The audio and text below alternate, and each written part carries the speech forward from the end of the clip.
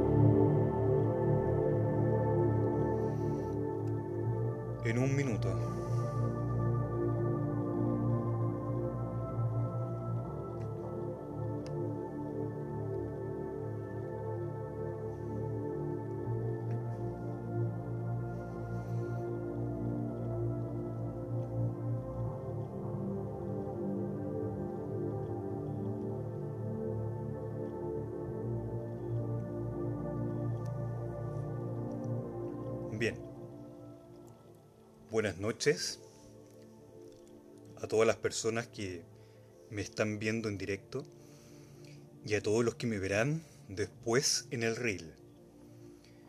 Soy Felipe de Lucas Arellano, fundador del método Psicodivum.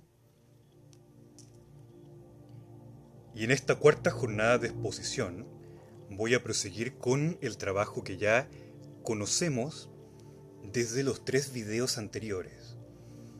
Titulado Tips para la sana personal, ahora parte cuarta y última. Como ya saben, fue escrito en el año 2016 por mi autoría, el cual estoy leyendo párrafo a párrafo, comentándolos y agregando nueva información. También rectifico al no estar de acuerdo con algo que opiné en aquella época, puesto que en cinco años el conocimiento y la experiencia evolucionan. Muchos de esos juicios los mantengo, pero otros no. No olviden que todas las jornadas serán subidas próximamente a YouTube. Les avisaré cuando así sea. De tal modo podrán revivir todas las veces que quieran lo que hemos conversado. Si quieres, puedes desde ya comenzar suscribiéndote en esa cuenta de YouTube. Coloca en el buscador de esa página Psicodivum y te aparecerá inmediatamente. O puedes encontrarlo también en los sitios amigos, en la parte inferior de mi página web, que se encuentra en la biografía de Instagram. Haré una breve recapitulación de los temas tocados hasta entonces. En caso de que seas un espectador que recién está comenzando a ver este video, te insto a que puedas ver los anteriores. El primer video o la primera jornada se trató una introducción al tratado, que es bajo una perspectiva generalmente monoteísta, pese a que soy más, más politeísta. También tiene una, una perspectiva neoplatónica y neopitagórica. Refiere a prácticas para que puedas usar en tu asana personal, todas practicadas anteriormente por mí. También vimos los cinco estratos de la mente y otras formas de apreciar la estructura de la psiquis. Recitación de decretos de forma mental y verbal. Lamentablemente esa jornada no la guardé en el reel, pero voy a hacer lo posible por subirla a YouTube o subirla a Instagram. En la segunda jornada vimos una introducción sobre la delicadeza de los temas que se iban a empezar a abordar. Por ello se hizo un llamado a la prudencia. Y después se vio la meditación en Dios, como concepto, como símbolo, como, como precepto filosófico, como quieras verlo. En la tercera jornada, que fue hace dos semanas, vimos la meditación en la diosa, la magia sexual y una introducción al tema o al acápite llamado mantras o mantrams. Todo esto de una forma claramente resumida que está guiada por lo escrito en ese tratado, sin intención el día de hoy de actualizar nada de él. Ya llegará el momento de hablar otros temas de forma más profunda. Ahora, lo que veremos hoy es meditación en los chakras, desdoblamiento astral, meditación del control de los cuerpos, aura de los dioses, meditación en animal de poder y una síntesis final. Son varios temas, pero pero son cortitos, los escribí en en pocas líneas. Todo esto está abordado desde mi propia visión de los temas a tocar y particularmente la que tenía en ese año. Algunos extractos están contados de una forma un tanto literaria, pero es para generar más poesía en la comprensión del fenómeno. Así que los invito a prestar atención y apreciar estas palabras desde una visión mística, filosófica, poética, mítica o legendaria, si quieres, también teológica, teísta, pero sin dejar de lado la visión científica, psicológica, antropológica y de ciencias sociales. Trataré todo de ajustar todos los temas en una hora. Por ello voy a empezar.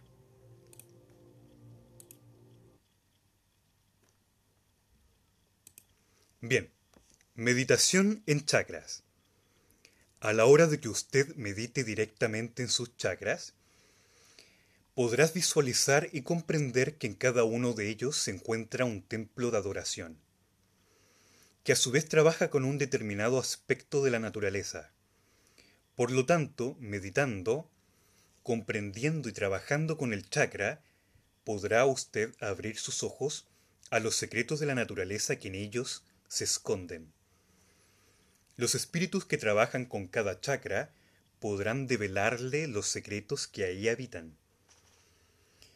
Acá quiero explicar algo que lo tengo pendiente desde la jornada anterior, puesto que nosotros en el cuerpo físico y en el cuerpo astral tenemos siete chakras principales que son los más conocidos, los que están en la columna vertebral. Pero no solamente tenemos siete chakras, sino que tenemos muchos, muchos chakras en el cuerpo. Tenemos chakras en las rodillas, en los pies, en las manos, en, los dedos. En todas estas partes hay chakras. No son solamente siete. Pero sigo, también podrás, te voy a tutear, también podrás transformarte en un maestro de los fenómenos de la naturaleza. Niveles impresionantes de magia que hoy en día son poco o escasamente logrados por la gran humanidad que, dormida en sus propios caprichos e intereses materiales, ha dejado en lo más hondo de sus subconscientes todo tipo de atracciones o intereses hacia estas materias de estudio, que son propias del espíritu que cada uno posee, pero que en la mayoría de los casos duermen y duerme bajo las capas del cuerpo indomado Acá coloqué una nota, estas notas que te voy a relatar de vez en cuando son actuales.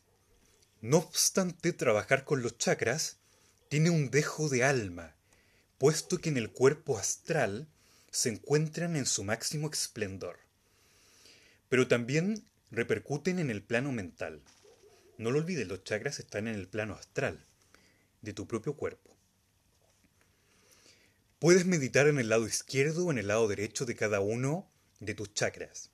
El lado izquierdo lo domina la diosa o el espectro femenino, así como allí se encuentra el nadi y da, el nadi lunar. Y en el derecho se encuentra Dios o el aspecto masculino, y allí se encuentra el nadi pingala. Según la tradición hindú, egipcia, budista, entre otras, cada chakra posee una determinada deidad regente. Mediante la invocación de cada lado del cuerpo, tú despertarás a dichas deidades o subdioses que rigen en ti mismo o en ti misma, los cuales te mostrarán las maravillas de cada dimensión a la que pertenecen.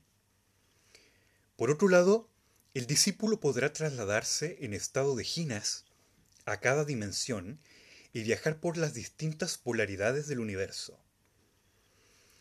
Aún así recomiendo, recomiendo que antes el discípulo lleve años de diversa preparación espiritual para no enloquecer con toda la información sensorial que se aparecerá a sus ojos.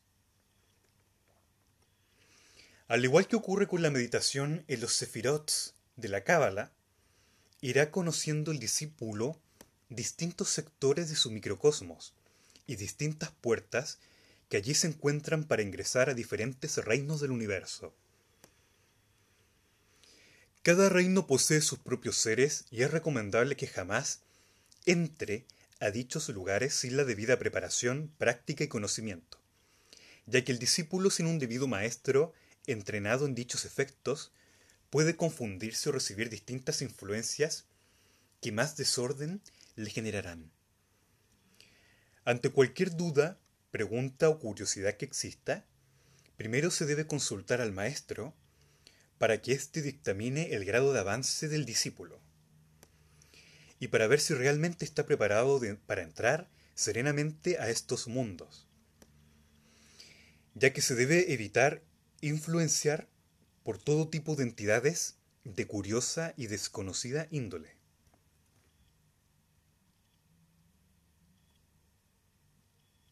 Cuando me refiero al maestro, puedes preguntar a los dos tipos de maestros que existen. Al maestro físico, es decir, tu guía espiritual, o a tu maestro interno. Bien, ahora pasamos a la siguiente sección. Como verás, son secciones cortas. Desdoblamiento astral. Al referirnos a la sección del desdoblamiento astral, también el discípulo necesita de un maestro experto en la materia, ya que adentrarse en dicho plano sin la experiencia suficiente o sin la protección adecuada, puede verdaderamente recibir todo tipo de influencias de distintas entidades, buenas o malas. Ahí todos los seres están al tanto de que un humano despierto ha entrado conscientemente en tal reino y se le acercarán para hacerle todo tipo de bromas o intentar convencerlo de un sinfín de situaciones sin sentido o con sentido. Puntos suspensivos. No debe dejarse llevar por ninguna. Cuando me refiero a seres del plano astral, me refiero a una gran cantidad de seres. Como dijo Charles Webster Leadbeater, existe una gran cantidad de seres del plano astral que ocuparía, si alguien se dedicara a ese estudio, imposible de alcanzar. Em, naturalmente escribiría una docena de volúmenes o una veintena de, enciclopedias de esas entidades, porque son, en verdad son incalculables. Aparte, navegar por el plano astral es muy difícil y, e identificar a estos seres también. Esos seres incluyen algunos que solamente habitan en el plano astral, como también humanos desencarnados, o los cascarones astrales, entre otros seres maravillosos que incluso podemos encontrar en los cuentos, en las leyendas o historias y en los mitos de cada país y de cada nación. Muchos de estos seres son del plano astral. Y si bien alguna persona o un grupo de personas en el pasado tuvo contacto con estos seres, lo llevaron a la leyenda, lo llevaron a la narración folclórica o popular, y se transformó en un mito con el pasar del tiempo y de las generaciones. Y muchas veces simplemente fue el encuentro con un ser o con un habitante del plano astral. La vista astral induce la capacidad de observación en 360 grados. Con ello la capacidad también de alejarse o viajar a lenta o a inmensa velocidad. Ninguna pared o muro será obstáculo para su visión, para tu visión. Podrás ver todo el funcionamiento de este y otros planos al mismo tiempo.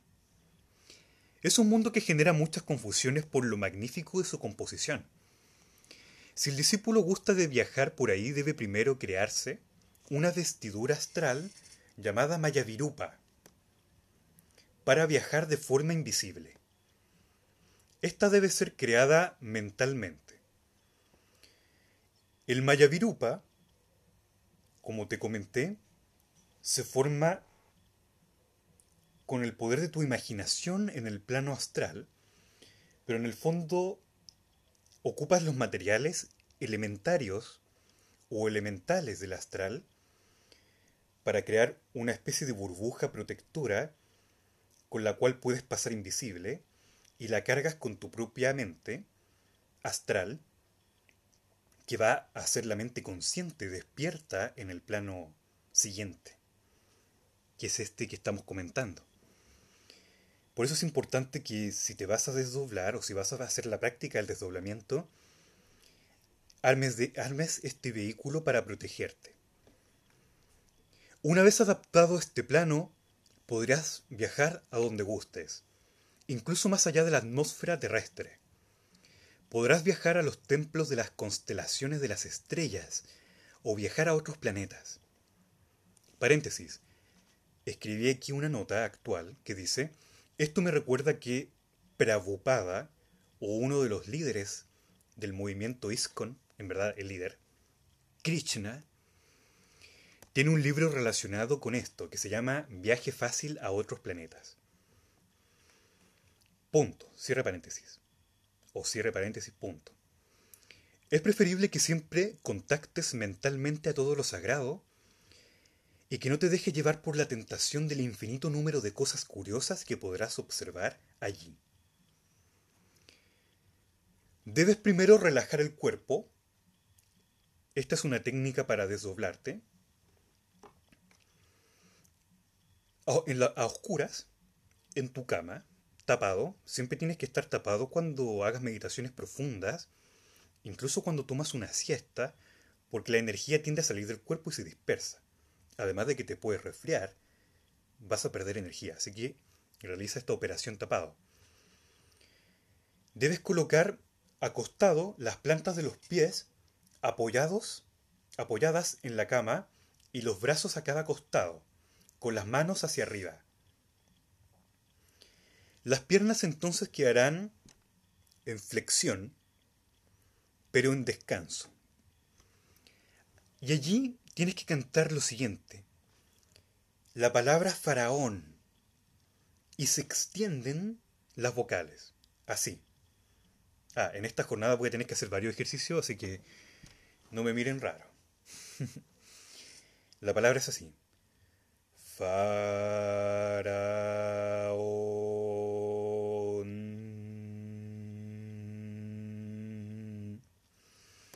Alargando las vocales e imaginando las pirámides de Egipto. Así te podrás desdoblar y recorrer la dimensión astral.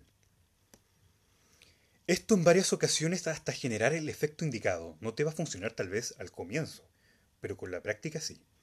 Vas a sentir como tu alma empieza a, querer salir de tu cuerpo. Hay una sensación muy curiosa que ocurre cuando uno quiere quedarse dormido, pero se empieza como a colocar un poco nervioso y sientes como que todo empieza a dar vueltas dentro, dentro tuyo.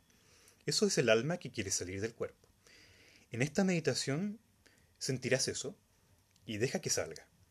Esto con la práctica sí. No lo olvides. Faraón varias veces.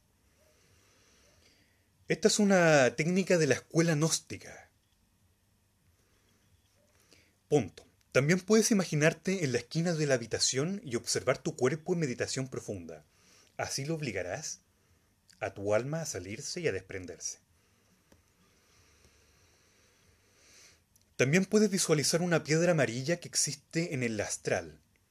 Es una roca gigante a la cual se puede acceder por medio del pensamiento, y que es un gran centro de despegue. Esto dentro de los mitos gnósticos. Otros curiosos sectores del astral poseen diversos y hermosos minerales que trabajan conjuntamente con los rayos del universo. Hay un término que se ocupa en teosofía, pero que también es muy antiguo, que se llama la luz astral. Se supone que es una especie de de material astral que refleja el pasado de la humanidad, el presente y cosas del futuro. Este plano, o esta especie como de densidad astral, tiene, además del el, espectro cromático del universo, posee los, los infrarrojos y los ultravioletas. Si puedes acceder a, la luz astral, genial, porque ahí eh, podrás obtener conocimiento. Y bien, desde estos minerales perdón, misteriosos, saldrás impulsado velozmente como un cohete a donde quieras y podrás viajar además al universo exterior. Estas y cientos de prácticas más existen para poder desdoblarse. Pero no voy a ahondar en ellas porque no es el propósito de esta exposición.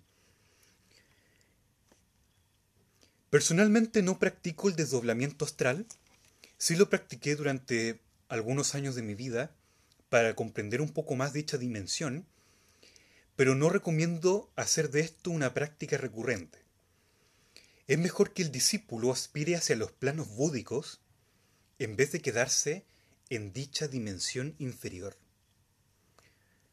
Porque eso es, en gran medida. Siguiente sección. Meditación del control de los cuerpos. La meditación del control de los cuerpos de Yiddu Krishnamurti, particularmente y específicamente del libro llamado A los pies del maestro, que también recomiendo, consiste en conversar con cada uno de tus cuerpos, entre ellos el cuerpo mental, el cuerpo astral, el cuerpo físico y el cuerpo de deseos para ir educándolos lentamente y que no ocupen el centro del reino de nosotros mismos. El cuerpo mental tiende a imaginar en nosotros personajes que realmente no somos. Siempre quiere hacernos creer que somos alguien superior al resto o crea caretas y personalidades innecesarias. El cuerpo astral adora todo lo intenso, los extremos, los estados anímicos cambiantes, las emociones intensas que van y vienen. El cuerpo físico es holgazán y siempre quiere aplazar todas las tareas. El cuerpo de deseo siempre quiere lo que no posee o mira con envidia lo que tienen los otros. Siempre desea la sensualidad de los sentidos o el placer desmedido de todo lo satisfactorio. Este cuerpo es terrible, debe educarse y purificarse. Tú les estarás hablando desde la esencia vital de tu ser, que es tu espíritu. Esa es la voz que escucharán los cuerpos y la que siempre debe escucharse. Aún así, volviendo a lo escrito en unas páginas anteriores, recomiendo que les hables desde la imagen y desde la sensación interna, más que con las palabras internas. Esto lo hablamos en profundidad en la primera sesión, en la primera jornada de exposición de este trabajo, que voy a subir apenas pueda, porque he tenido algunos inconvenientes, no, les niego, en la postproducción, puesto que los videos que bajo de, de live se bajan en mala calidad. No, perdón. Claro, en mala calidad, pero no en la calidad de imagen, sino que en la calidad de, de la sincronización de imagen y sonido. Entonces ya les tengo eso pendiente y les avisaré apenas esté listo. Este consejo que te di de hablarle a los cuerpos desde la imagen y la sensación, más que con las palabras internas o las palabras mentales, esto es siempre para el neófito o para el principiante, puesto que para el estudiante avanzado no es así. Gran parte del secreto de la longevidad está aquí plasmado, ya que el exceso de cada cuerpo, como el afán que tienen de dominarnos y dirigir nuestras vidas, hace que el cuerpo se envejezca exteriormente, más rápido. Eso sí, no recomiendo meditar en tus chakras si te encuentras psicológicamente alterado o alterada. En realidad, ningún tipo de meditación debe realizarse jamás con un estado anímico negativo, ya sea de enojo, ira, distrés o preocupación. Sino lo que producirá será invocar dicho espectro o aspecto del universo, que verdaderamente existe y que es llamado por el pensamiento. Toda meditación debe hacerse en un estado de tranquilidad mental y espiritual, un estado de serenidad corporal que la adecuada respiración ha de brindarnos.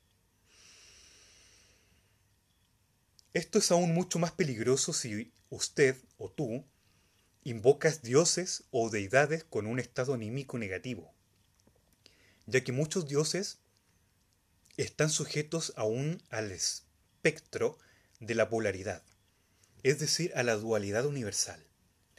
Te explico a qué se refiere esto, y que lo coloqué también en una nota actual. Ni Dios ni la diosa supremos, entre otros dioses, están sujetos a la, a la dualidad, sí a la, a la unidad de sí mismos, o sea, son puros, completa y absolutamente. Pero muchos otros dioses y deidades, al estar sujetos a la dualidad, significa que están sujetos, si quieres, al bien y al mal, a la verdad y al error, a la mentira y a lo verídico, entre otras dualidades. Entonces, en algunos casos podrás invocar bien la parte positiva del Dios, pero tal vez después te encuentres con la parte negativa y será muy potente para ti tener la parte negativa de una deidad. Punto. Por lo tanto, existe un aspecto positivo y otro negativo. Si tú estás vibrando en la negatividad, invocarás el aspecto negativo de la deidad. Y considerando el poder de estos últimos, es recomendable que no llames lo oscuro proporcional a su poder. Siempre debes mantener a la mente en la mayor de las serenidades y positivismo,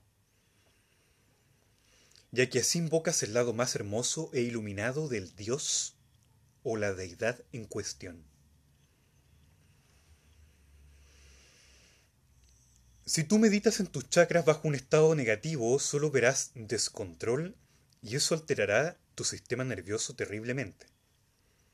El sistema nervioso tiene una profunda comunión con cada tipo de meditación. Mediante este acto, tú iluminas cada una de tus neuronas y las dotas de códigos de información puros. No olvidar que cada cuerpo material en realidad es energético pero mayormente densificado. Según nos, nos enseña la física cuántica, nosotros somos energía solidificada y nuestras neuronas no escapan a dicha acepción. Por lo tanto, la meditación aspira el sattva atómico de la atmósfera y la respiración el prana. Esto modifica la genética del individuo, por lo tanto, luego de cada meditación, debes ordenarle a tu sistema nervioso, a tus neuronas y a cada una de tus células que se adapten a la energía pura recibida. Es por ello que el sistema nervioso reaccionará pésimo si se le induce a meditar en una vibración densa. Los tres gunas nos enseñan el sattva, rajas y tamas. La meditación elimina los átomos rajásicos y tamásicos del cuerpo y permite entrar los dorados átomos sáttvicos, que son los que constituyen al yogi en un verdadero brahman. El individuo forjará un poderoso aura dorado, color de la protección, mediante la meditación ejercida en estado de ánimo positivo y sereno. Para terminar con los chakras,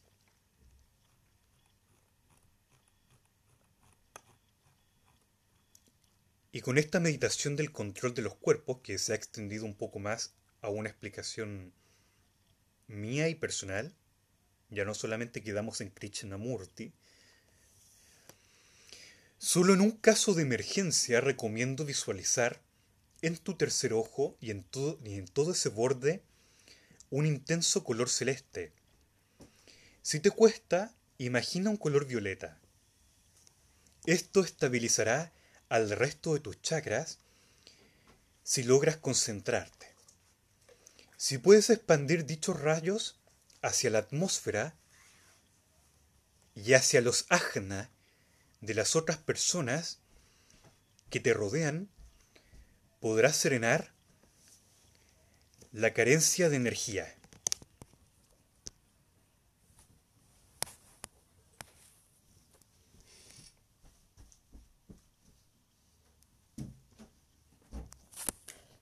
Disculpen. Voy a repetir esa parte. Esto estabilizará el resto de tus chakras si logras concentrarte. Si puedes expandir dichos rayos hacia la atmósfera y hacia los ajna de las personas que te rodean, podrás serenar la carencia de energía. El centro de operaciones de Atman se encuentra en Ajna. Por ende es adecuado que el primero parta por ahí para generar equilibrio en los otros chakras.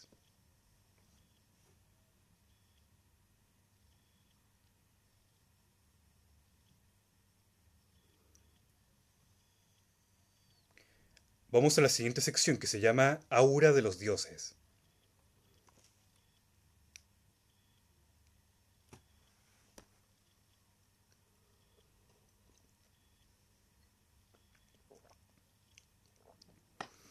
A medida que tú contactes a diversos dioses, irás tiñendo tu aura y tu cuerpo de color atómico de cada uno de ellos. La constante oración en Krishna tiñe el aura de un azul impenetrable por las fuerzas negativas del ambiente. Por otro lado, la oración en Narasimha tiñe el aura de un poderoso dorado guerrero. Es recomendable que el estudiante haga profunda amistad con alguna deidad, la cual será su amiga y su protectora. También será quien le entregará calma en cada momento difícil. Mientras más comunión se forme contigo, perdón, mientras más comunión se forme entre ti, que estoy, transformando los, los modos formales en modos coloquiales, mientras más comunión se forme en ti y el Dios, irás adquiriendo ciertas responsabilidades sobre el plano concreto y los planos invisibles. Por lo general, adquieres la misión que el mismo Dios proclama. Por ejemplo, si realizas amistad con Lakshmi, deberás llevar al mundo los valores que ella imparte, que es el amor y la conciencia en el magnetismo femenino, además de un constante estado de positivismo y dotes hogareños. En cambio, si si tú encarnas amistad con Narasimha, deberás ser un guerrero en los planos invisibles. Con el mudra de la garra, deberás destruir las entidades amenazantes que se encuentran en dichas dimensiones. Tal cual la misión de Vishnu en esta cuarta encarnación como hombre dios león, que vino para destruir a Hiranyakashipu y beneficiar a Prahlada, como nos narra el mito hindú. Por lo general la misión de cada dios es respaldada por la misma mitología e historia cultural del dios. Siguiente sección. Meditación en el animal de poder. El animal de poder es, como el nombre lo dice, nuestro arquetipo ideal en el mundo animal. Esta meditación es del tipo chamánico formando parte de múltiples ritos de distintas culturas y tribus de todo el mundo. Este animismo está ligado en su faceta exterior con el totemismo, presente a lo largo de un gran número de países. Esta filosofía menciona que todo lo que existe nace con el conocimiento de la gran armonía universal. Los animales, las plantas, las rocas, las estrellas, el cielo, la tierra, los ríos, etc., menos el hombre y la mujer. Ellos no están 100% armónicos con la naturaleza. en una cierta etapa evolutiva. Ya dije que hay ciertas cosas en las que no estoy muy de acuerdo y las voy a decir, como esta. Yo creo que el hombre y la mujer nacen armónicos y perfectos en su relación con la naturaleza, pero esta se va modificando, se va mejorando o, o perdiendo o destruyendo dependiendo de cómo criemos al animal hombre. No olvidemos que somos animales. Lo que nos distingue es únicamente el raciocinio. El animal de poder nos ayuda a encontrar nuestra armonía interior. Nos ayuda a conocernos y a conocer el mundo. El animal representa nuestro potencial y lo que debemos mejorar. El animal de poder está conectado a nosotros como protector y guía, enseñándonos la manera en la que debemos evolucionar. Los pasos meditativos son los siguientes. Acá coloqué una nota. Si quieres primero te envuelves en un globo aúrico azul y rosado para que puedas sentirte seguro o segura de realizar la meditación. Esto es un equipamiento. Primero, debes meditar que estás en la naturaleza y que recorres distintos países solitarios. O que recorres paisajes como tú quieras. Debes asentarte en un lugar que sientas perfecto en todas sus condiciones. Y ahí esperar a que llegue tu animal a buscarte. Él te debe encontrar. Aunque pienses en otro animal, y de hecho verás animales que aparecen, pero que se van, porque vinieron por curiosidad, siempre con la práctica también, porque esta meditación tampoco es tan simple, si ves que un animal en particular te aparece a cada instante y te observa desde lejos o se acerca tímidamente y pese a que se va, por ejemplo, vuelve después, entonces no cabe duda de que ese es tu animal. Si quieres saber qué es lo que debes hacer para evolucionar espiritualmente o qué debes aprender de él, solo tienes que preguntárselo. Sin miedo te responderá con palabras o imágenes. Luego debes imaginar que eres el animal, pues por tendencia natural sentirás que eres ese animal, y él te permitirá entrar a su reino, tanto natural y espiritual, para ser parte de ellos. Todo este proceso se da también naturalmente. Esta práctica se basa en la unificación de nosotros mismos con el animal arquetípico que en esencia es similar a nosotros. A su vez es nuestro amigo y protector arquetípico. Esta meditación nos une a su vez astral y mentalmente con dicho animal en el plano físico. Eso es importante, no lo olvides. Con esta meditación comprendes la naturaleza animal de tu ser y logras comprender el funcionamiento básico de tu psiquis y de tu motor espiritual. La meditación chamánica a la cual hago alusión es muy mística y hace despertar tus poderes internos. Tú mismo debes descubrir, o tú misma, cuál es tu animal. Y una vez que lo hayas descubierto, podrás servirte de él como un amuleto de protección y tótem de meditación. Y agrego también de inspiración para tu vida.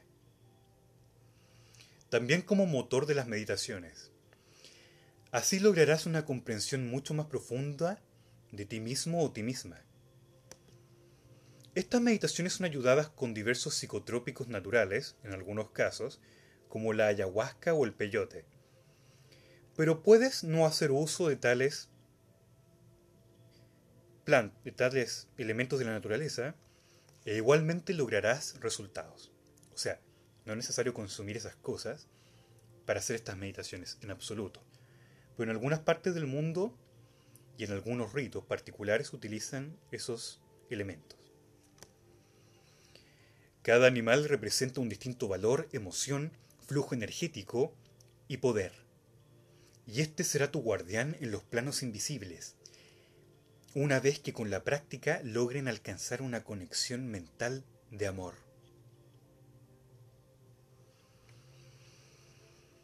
En los planos materiales también atraerás a tu animal de poder hacia ti. Sentirás un místico éxtasis que te sumerge a ti y al animal. Ambos se empezarán a atraer mutuamente. No lo olvides, en el plano físico.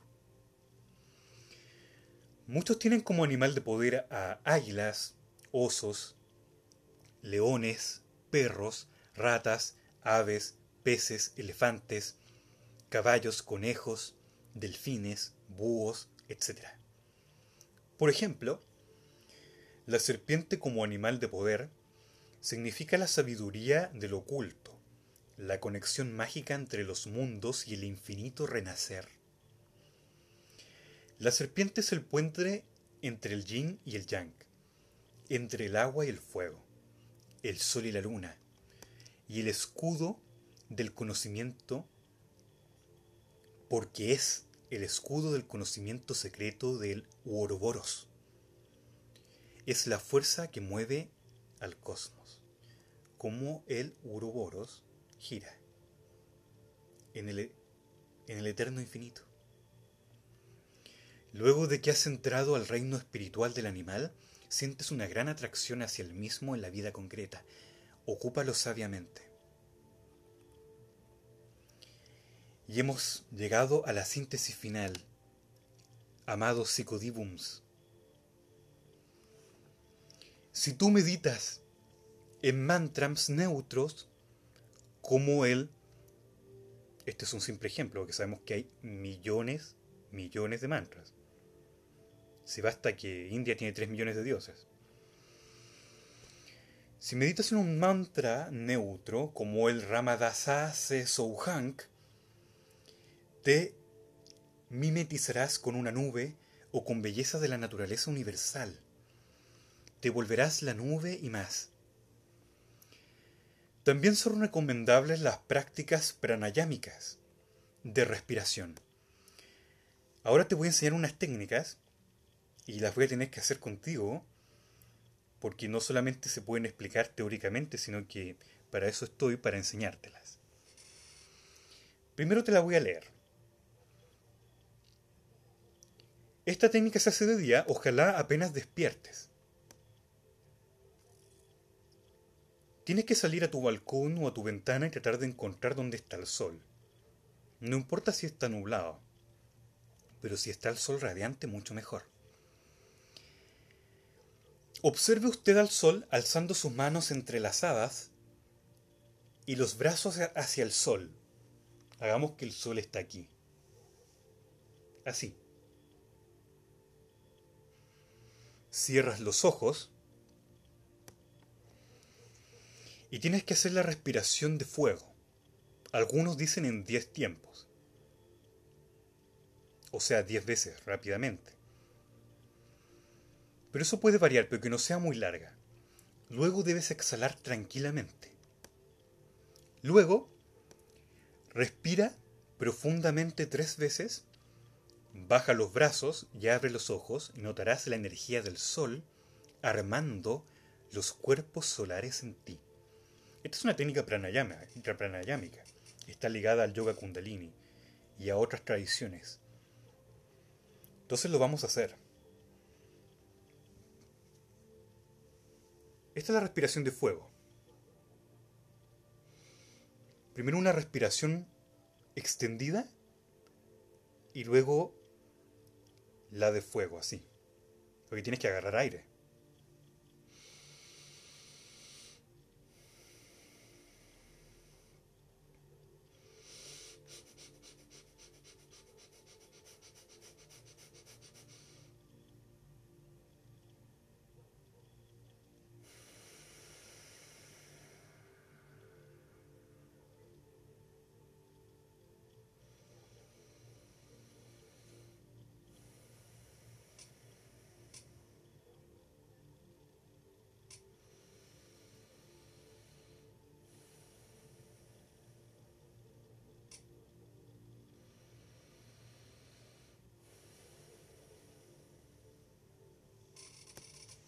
Siempre en dirección al sol. Si quieres, la hacemos de nuevo. asegúrate de tener al menos un poquito de aire en tus pulmones.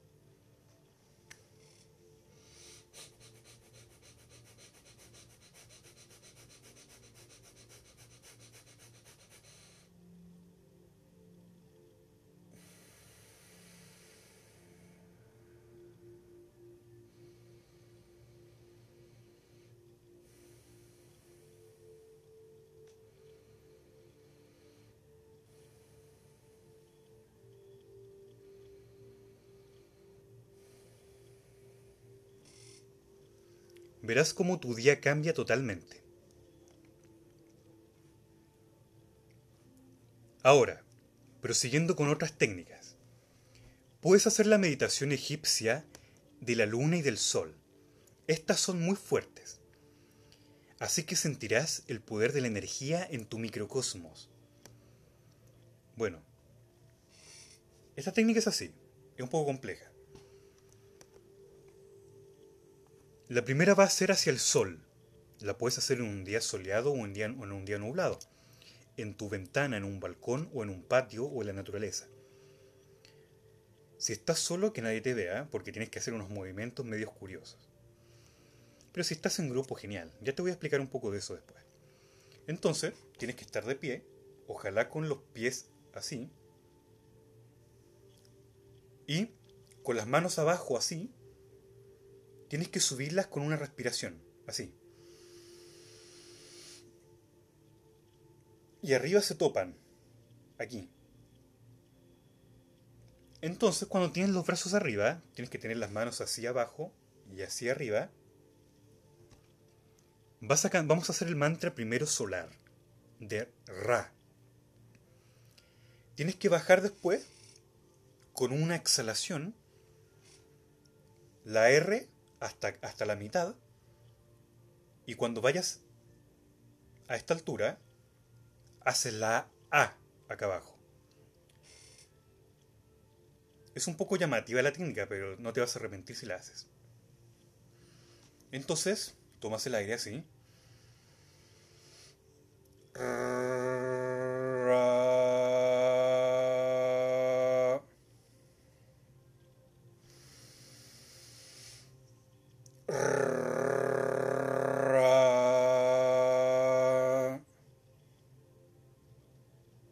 Haces tres veces. Quizás no me salió tan perfecto porque estoy sentado en un escritorio, pero si quieres algún día lo practicamos en grupo, con tus amistades, y la naturaleza, y ahí va a salir mucho mejor. No lo olvides, hasta esta primera parte baja la R y hasta acá abajo la A.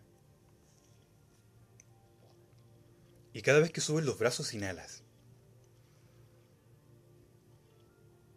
Ahora, el mismo procedimiento supuestamente egipcio con la fuerza de la luna, o sea, con Ma.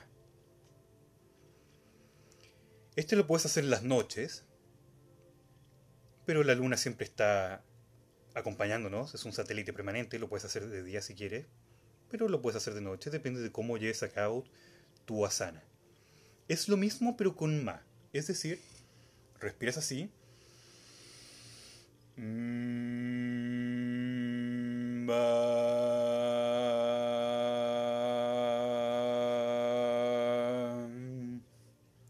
Mis manos chocaron con el velador. Yo te estoy dando el ejemplo. Igual que Ra, el Ma. La M hasta aquí y la A hacia abajo. Tienes que hacerlo tres veces por lo menos cada uno o en múltiplos de nueve. Eso ya te lo expliqué en las jornadas anteriores. Ahora vamos a hacer el último paso de esta técnica, que vamos a juntar el Ra-Ma, o sea, la polaridad positiva solar y la polaridad negativa lunar, en un solo movimiento, en un solo ejercicio ritual. Este es un poco más complejo. Me voy a poner por aquí para que veas lo que quiero, lo que quiero decirte. Cuando inhales y tengas el brazo, los brazos acá arriba, El, la R es hasta aquí, un primer cuarto. La A de Ra llega hasta acá. Acá empieza la M, en el tercer cuarto, y abajo termina la A.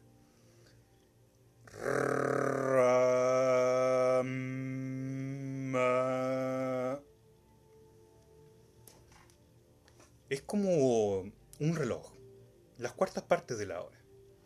Voy a tratar de hacerlo sin chocar porque estoy sentado y tú me entenderás.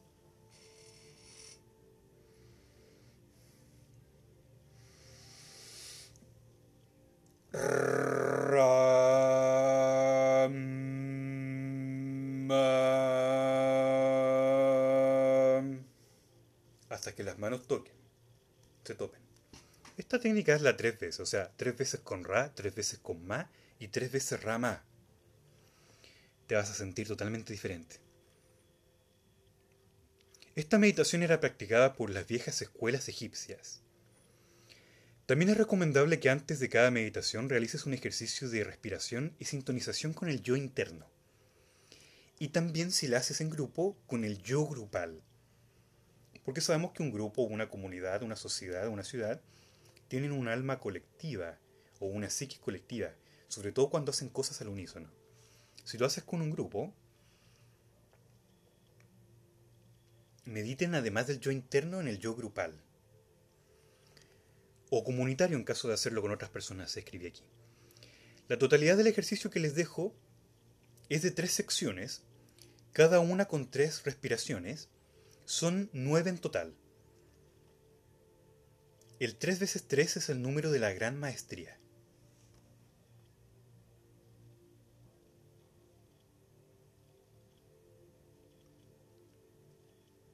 Esto quiere decir que mm, primero respira tres veces para hacer te conectas con el yo interno y el yo social. Eh, te respiras tres veces para hacer el Ra, respiras tres veces para hacer el Ma y respiras tres veces para hacer el Ramá. Es una pre-meditación, un pre-rito. Ahora, lo mismo ocurre con el siguiente ejercicio, también de, de, tres, de tres secciones respiratorias. La primera sección son tres respiraciones simples, inhalación, retención y exhalación. Es muy importante retener el aire, ya que ahí debes abrir tus ojos internos hacia dicho estado de serenidad. Si puedes oír el latido del corazón, cómo aumenta mucho mejor. Eso lo dicen los metafísicos. Y pese a que no lo practico mucho, sí lo recomiendo. Entonces, tres, como te he dicho, este ejercicio simple tres respiraciones simples. Inhalación, retención y exhalación. La segunda sección es visualizar una aura multicolor. Con eso quiero decir que no solamente tiene que ser multicolor si quieres, sino con los colores con los cuales tú quieras trabajar. Si quieres potenciar alguna cualidad de la meditación personal, ocupa el azul, el violeta, el rojo, eso varía. Incluso se puede meditar con el color negro. El color negro no es malo. El color gris tampoco, ¿verdad? Ningún color es malo. Y eso lo sé porque hay maestros que lo han enseñado que todos los colores tienen su lado positivo. Entonces, este lo, en la segunda sección lo creas alrededor tuyo y del lugar físico en donde te encuentres. Y ahora te voy a pedir que en la primera respiración hagas un om mental. En la segunda un om susurrado por los labios. Y en la tercera un om a voz normal. Ojalá con voz firme. Eso lo hablamos ya en la jornada anterior también. La tercera sección, además de visualizar el aura multicolor o de los colores con los cuales quieras o quieran trabajar, en el caso de que estés con un grupo, te debes ver a ti mismo o a ti misma envuelta en una aura de pureza. Si meditas con alguien, que ambos o el grupo completo se visualicen unidos por esta aura, que ahora es doble, porque en la parte anterior te comenté que creas un aura para ti mismo o lo crea el grupo para sí mismos, un aura de color, el que ustedes quieran, para protegerse, dorado, para aumentar la inteligencia, amarillo, etcétera, para aumentar el estado de ánimo, naranjo. Pero ahora además, estoy tratando de traducir esto porque lo escribí hace tiempo. Tienes que visualizar una aura que los une, que no solamente es protector, como en el caso anterior, sino que este aura los une. El aura anterior también los unía. Pero ahí tú puedes cambiar el propósito, o sea, eso es lo que he tratado también de explicar en todas estas jornadas, que todo esto tú lo puedes modificar, o sea, no hay nada prescrito. El poder de la mente dota a la práctica ritual y a la práctica de la sana en la meditación. Estoy dando un ejemplo, por ejemplo, que en la meditación anterior sea un aura netamente protector, pero que en esta sea un aura que los une de corazón, en aspiraciones, gustos, intenciones, amor, armonía, entre otras emociones o sensaciones positivas. Las mismas respiraciones, ya sean las prácticas respiratorias y mántricas que te conté de la sección 2, se repiten en esta tercera faceta. El mudra también puede ser a gusto de la persona. Este es el famoso yan mudra. Algunos dicen que si colocas las manos sobre tus piernas, que sea siempre con las palmas mirando hacia el cielo. Y aquí coloqué una nota que dice esto no es cierto, porque las palmas pueden estar hacia abajo de una forma cómoda, y una persona con artrosis quizás no pueda colocar sus manos hacia arriba, y no por eso la vamos a privar de recibir la armonía del universo. Esas cosas varían. Mucho está en la sugestión. Dentro del yoga kundalini escribí aquí, porque no se olviden que estoy leyendo el tratado, Existe una sana de cuatro pasos que expondremos en su debido momento. Eso será para otro video en definitiva. Bueno, para finalizar comentar que también en estas jornadas tuvimos la oportunidad de comprender la creación desde la unidad, la dualidad y la trinidad, comprendida desde el sistema pitagórico. Ahora, para finalizar, y con esto sí que finalizo el trabajo, existe un tipo de meditación de una rama moderna de la Rosa Cruz, particularmente de John Baines, un escritor chileno, que es poco conocido, pero es, bien importante en, algunas ramas místicas. Estoy hablando de Darío Salas Sommer, que incluso creo que existe un colegio que lleva su nombre, que es un escritor, un investigador chileno. Bueno, él propone una meditación que es la que ahora te voy a contar. Pero, yo una vez tuve la oportunidad de hablar con un místico, que era un amigo mío, una persona que aún quiero mucho. Y bien, él practicó esta meditación también, al igual que yo. Pero eh, él no la recomendaba, no le gustó. Al final te voy a dar mi opinión. Nosotros tenemos en nuestro cuerpo cuatro inteligencias básicas. La inteligencia del aparato respiratorio, que está regida por los elementales del aire. La inteligencia del aparato circulatorio, que está regida por los elementos o los elementales de la Tierra.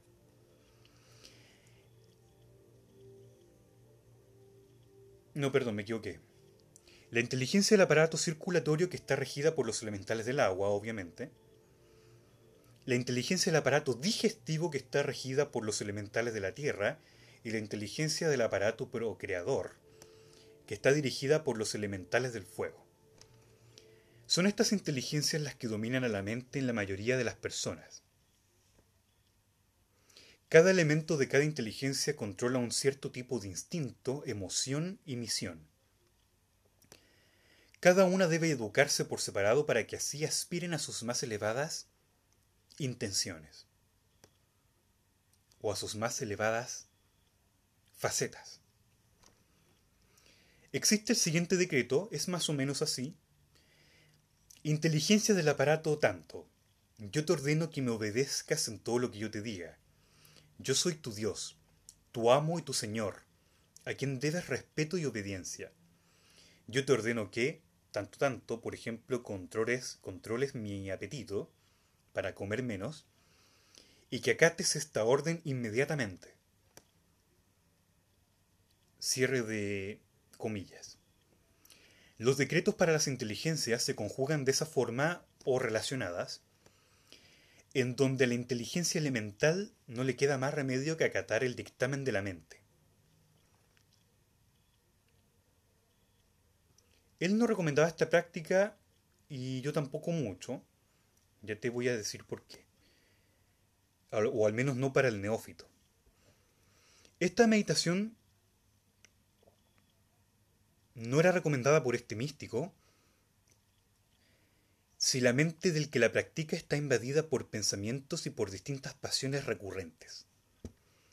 Tampoco si no ha trabajado con los cuerpos o si no ha creado una comunión firme con Dios o la diosa. De lo contrario, la mente de aquel estará al vaivén de los pensamientos externos del mundo mental, y a cada instante podrá ser susceptible de desestabilización, lo que repercute en cada una de sus inteligencias, y resulta de esto un caos mucho mayor. Porque si bien practicaste la meditación, dominaste alguna de tus inteligencias, pero después tú pierdes tu propio control porque caíste en tus pasiones o en pensamientos ajenos, externos, que no te correspondían, em, la inteligencia después va a recibir ese influjo y, y, y va a ser peor, en verdad. La práctica me ha enseñado que cada inteligencia tiene algo que enseñarle a la mente. Cada una es un centro de meditación que, cuando se mantiene la mente serena y receptiva, nos puede enseñar grandes y sabias verdades. No hay que rechazar la potencialidad de dichas inteligencias, ya que tienen mucho que entregarnos. El yo volitivo, que es la conciencia del Supremo Mercurio que se va creando en todo iniciado, debe escuchar lo que sus inteligencias inferiores tienen que decirle ya que el mercurio volitivo está siempre aspirando a ascender y elevarse en las esferas cósmicas y muchas veces no escucha lo que su cuerpo inferior o material dice. No puede el discípulo elevarse a lo cósmico si aún no ha trabajado conjuntamente con su cuerpo. Aquí coloqué un paréntesis. Hasta cierto punto considero un cierta esta antigua hipótesis. Eso lo escribí hoy. Cada inteligencia del cuerpo te entregará a ti una visión de su reino.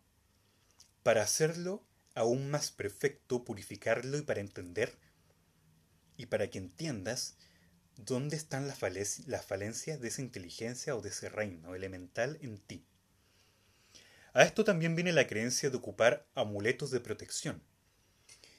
Yo en lo particular no prefiero la cruz en donde Cristo se encuentra crucificado, ya que demuestra el dominio terrible e incontrolable de las cuatro inteligencias sobre el espíritu volitivo. Es un símbolo que muestra la pérdida de control de los elementales de cada inteligencia, una a cada lado de la cruz. Es mejor si se desea, si deseas llevar un amuleto de Cristo, o sea, es mejor que lo lleves cuando luce triunfante en los cielos o iluminado. El significado oculto del amuleto de la crucifixión también va más allá del descontrol de las inteligencias internas, sino que va también en el descontrol de las inteligencias terrenas que crucificaron al maestro metafísico de los cielos, Yochua Emanuel, o Yechua también en algunos textos, conocido como Jesús el Cristo. Entre paréntesis, esto en el mito cristiano que muchos elementos paganos posee. Además, Cristo es la conciencia divina superior que encarnó en Jesús. Ahora te voy a decir algo importante. Esto que te dije según ciertos autores o críticos a lo largo de, estos dos mil años. Debo decir que entre los esotéricos existe una gran disputa sobre este punto, sobre si Jesús se transformó en Cristo o si Cristo es una especie de entidad externa que encarnó en Jesús vivo.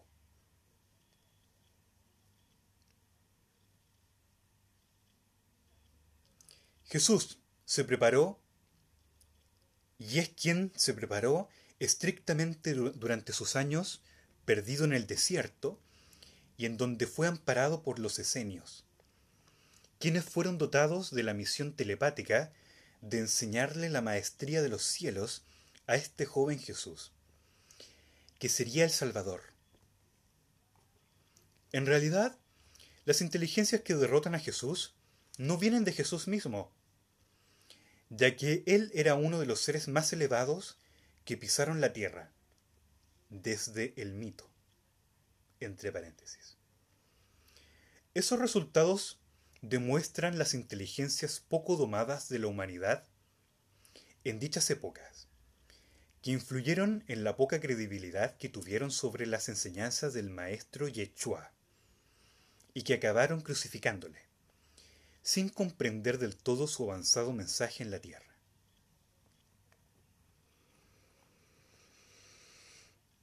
Fin.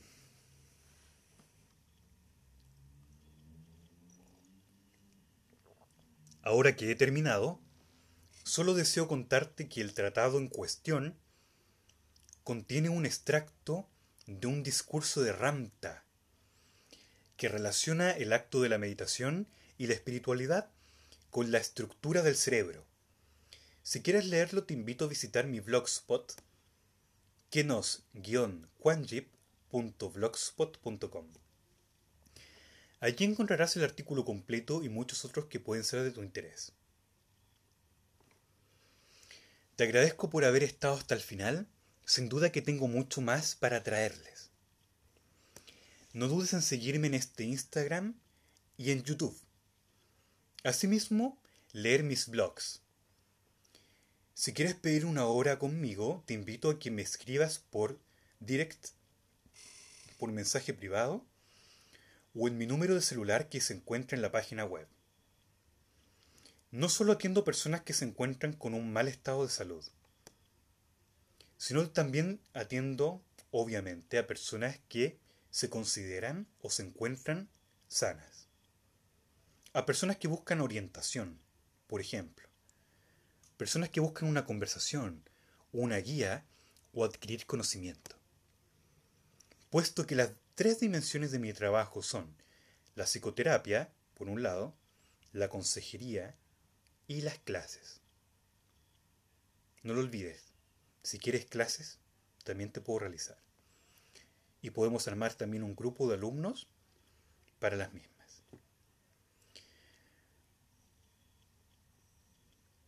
Y ahora te dejo una máxima para que recuerdes. No olvidar que la imaginación es el poder de la magia.